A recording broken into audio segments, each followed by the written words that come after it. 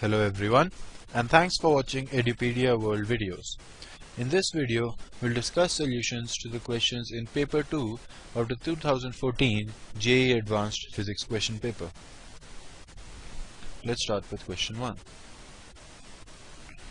Uh, a tennis ball is dropped on a horizontal smooth surface and it bounces back to its original position. So you have a horizontal smooth surface, you drop a tennis ball, it falls down with increasing speed and then it suffers a change in speed here and it goes back and it comes back to zero speed here.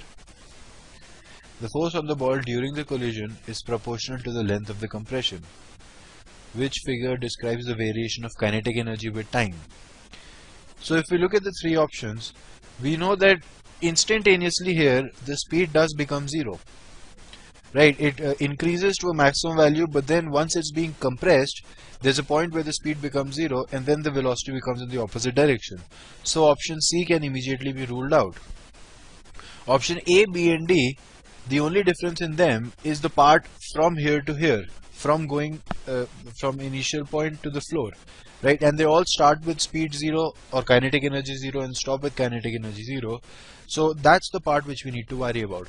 And in this part we know that the initial velocity is 0 so v will be equal to at or gt which means the kinetic energy which is half mv squared becomes half m g squared t squared which is proportional to t squared.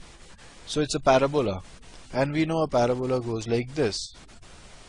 And the only option in which initially it starts out like this is option B. So that is the answer. Thank you.